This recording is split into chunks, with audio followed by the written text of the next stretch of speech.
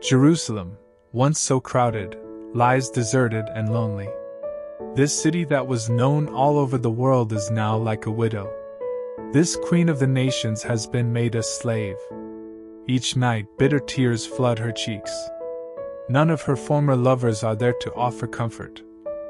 Her friends have betrayed her and are now her enemies. The people of Judah are slaves, suffering in a foreign land, with no rest from sorrow. Their enemies captured them and were terribly cruel. The roads to Zion mourn because no one travels there to celebrate the festivals. The city gates are deserted, priests are weeping. Young women are raped, Zion is in sorrow. Enemies now rule the city and live as they please. The Lord has punished Jerusalem because of her awful sins, He has let her people be dragged away. Zion's glory has disappeared. Her leaders are like deer that cannot find pasture. They are hunted down till their strength is gone. Her people recall the good life that once was theirs. Now they suffer and are scattered. No one was there to protect them from their enemies who sneered when their city was taken. Jerusalem's horrible sins have made the city a joke. Those who once admired her now hate her instead. She has been disgraced. She groans and turns away. Her sins had made her filthy, but she wasn't worried about what could happen. And when Jerusalem fell, it was so tragic. No one gave her comfort when she cried out, Help! I'm in trouble, Lord! The enemy has won. Zion's treasures were stolen. Jerusalem saw foreigners enter her place of worship, though the Lord had forbidden them to belong to his people. Everyone in the city groans while searching for food, they trade their valuables for barely enough scraps to stay alive. Jerusalem shouts to the Lord, Please look and see how miserable I am. No passerby even cares. Why doesn't someone notice my terrible sufferings? You were fiercely angry, Lord, and you punished me worst of all. From heaven you sent a fire that burned in my bones. You set a trap for my feelings and made me turn back. All day long you leave me in shock from constant pain. You have tied my sins around my neck, and they weigh so heavily that my strength is gone. You have put me in the power of enemies too strong for me. You, Lord, have turned back my warriors and crushed my young heroes. Judah was a woman untouched, but you let her be trampled like grapes in a wine pit. Because of this, I mourn, and tears flood my eyes. No one is here to comfort or to encourage me. We have lost the war. My people are suffering. Zion reaches out her hands, but no one offers comfort. The Lord has turned the neighboring nations against Jacob's descendants. Jerusalem is merely a filthy rag to her neighbors. The Lord was right, but I refused to obey him. Now I ask all of you to look at my sufferings. Even my young people have been dragged away. I called out to my lovers, but they betrayed me. My priests and my leaders died while searching the city for scraps of food. Won't you look and see how upset I am, our Lord? My stomach is in knots, and my heart is broken because I betrayed you. In the streets and at home, my people are slaughtered. Everyone heard my groaning, but no one offered comfort. My enemies know of the trouble that you have brought on me, and it makes them glad. Hurry and punish them, as you have promised. Don't let their evil deeds escape your sight. Punish them as much as you have punished me because of my sins. I never stop groaning. I've lost all hope. The Lord was angry, so he disgraced Zion, though it was Israel's pride and his own place of rest. In his anger, he threw Zion down from heaven to earth.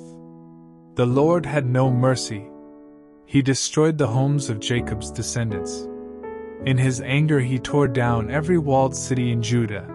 He toppled the nation together with its leaders, leaving them in shame. The Lord was so furiously angry that he wiped out the whole army of Israel by not supporting them when the enemy attacked. He was like a raging fire that swallowed up the descendants of Jacob. He attacked like an enemy with a bow and arrows, killing our loved ones. He has burned to the ground the homes on Mount Zion. The Lord was like an enemy. He left Israel in ruins with its palaces and fortresses destroyed, and with everyone in Judah moaning and weeping. He shattered his temple like a hut in a garden. He completely wiped out his meeting place, and did away with festivals and Sabbaths in the city of Zion. In his fierce anger, he rejected our king and priests. The Lord abandoned his altar and his temple. He let Zion's enemies capture her fortresses. Noisy shouts were heard from the temple, as if it were a time of celebration. The Lord had decided to tear down the walls of Zion stone by stone. So he started destroying and did not stop until walls and fortresses mourned and trembled. Zion's gates have fallen face down on the ground. The bars that lock the gates are smashed to pieces. Her king and royal family are prisoners in foreign lands. Her priests don't teach, and her prophets don't have a message from the Lord. Zion's leaders are silent. They just sit on the ground, tossing dirt on their heads and wearing sackcloth. Her young women can do nothing but stare at the ground. My eyes are red from crying, my stomach is in knots, and I feel sick all over. My people are being wiped out, and children lie helpless in the streets of the city. A child begs its mother for food and drink, then blacks out like a wounded soldier lying in the street. The child slowly dies in its mother's arms. Zion, how can I comfort you? How great is your pain? Lovely city of Jerusalem, how can I heal your wounds, gaping as wide as the sea? Your prophets deceived you with false visions and lying messages. They should have warned you to leave your sins and be saved from disaster. Those who pass by shake their heads and sneer as they make fun and shout. What a lovely city you were, the happiest on earth, but look at you now! Zion, your enemies curse you and snarl like wild animals, while shouting, This is the day we've been waiting for! At last, we've got you! The Lord has done everything that He had planned and threatened long ago. He destroyed you without mercy and let your enemies boast about their powerful forces. Zion, deep in your heart you cried out to the Lord. Now let your tears overflow your walls day and night. Don't ever lose hope or let your tears stop. Get up and pray for help all through the night. Pour out your feelings to the Lord. As you would pour water out of a jug. Beg Him to save your people who are starving to death at every street crossing. Think about it, Lord. Have you ever been this cruel to anyone before? Is it right for mothers to eat their children, or for priests and prophets to be killed in your temple? My people, both young and old, lie dead in the streets. Because you were angry, my young men and women were brutally slaughtered. When you were angry, Lord, you invited my enemies like guests for a party. No one survived that day. Enemies killed my children, my own little ones. I have suffered much because God was angry. He chased me into a dark place, where no light could enter. I am the only one He punishes over and over again, without ever stopping. God caused my skin and flesh to waste away, and He crushed my bones. He attacked and surrounded me with hardships and trouble. He forced me to sit in the dark like someone long dead. God built a fence around me that I cannot climb over, and He chained me down. Even when I shouted and prayed for help, He refused to listen. God put big rocks in my way and made me follow a crooked path. God was like a bear or a lion waiting in ambush for me. He dragged me from the road, then tore me to shreds. God took careful aim and shot his arrows straight through my heart. I am a joke to everyone. No one ever stops making fun of me. God has turned my life sour. He made me eat gravel and rubbed me in the dirt. I cannot find peace or remember happiness. I tell myself, I am finished. I can't count on the Lord to do anything for me. Just thinking of my troubles and my lonely wandering makes me miserable. That's all I ever think about, and I am depressed. Then I remember something that fills me with hope. The Lord's kindness never fails. If he had not been merciful, we would have been destroyed. M. The Lord can always be trusted to show mercy each morning. Deep in my heart, I say, The Lord is all I need. I can depend on Him. The Lord is kind to everyone who trusts and obeys Him. It is good to wait patiently for the Lord to save us. When we are young, it is good to struggle hard and to sit silently alone, if this is what the Lord intends. Being rubbed in the dirt can teach us a lesson. We can also learn from insults and hard knocks. The Lord won't always reject us. He causes a lot of suffering, but He also has pity because of His great love.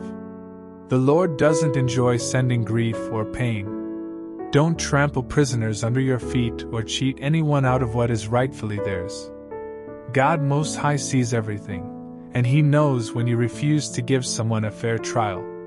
No one can do anything without the Lord's approval.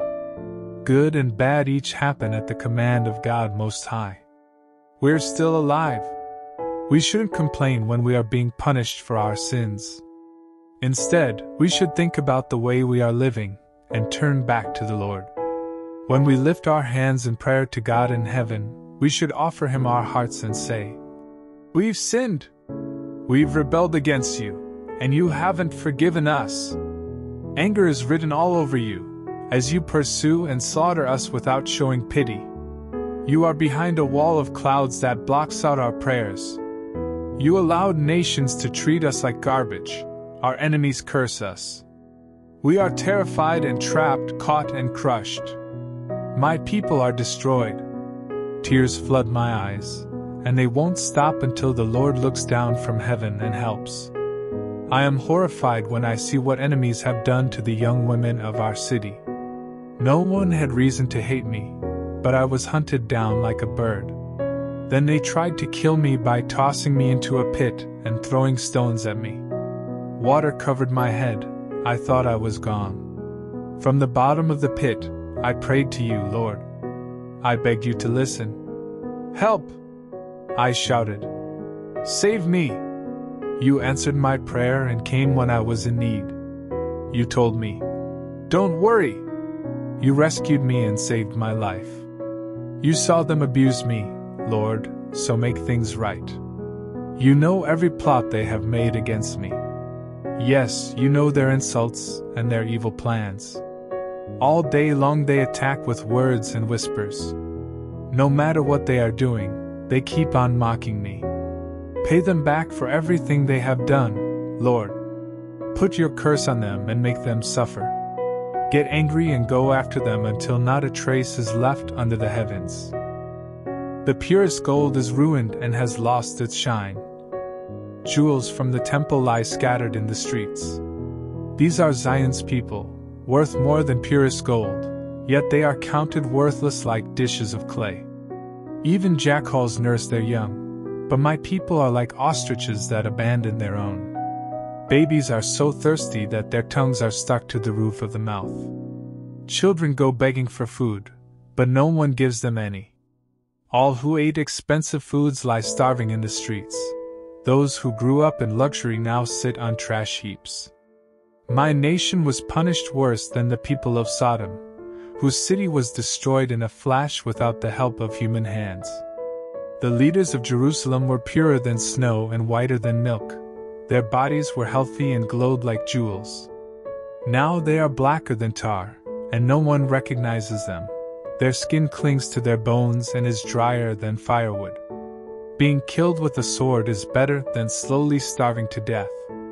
Life in the city is so bad that loving mothers have boiled and eaten their own children. The Lord was so fiercely angry that he burned the city of Zion to the ground.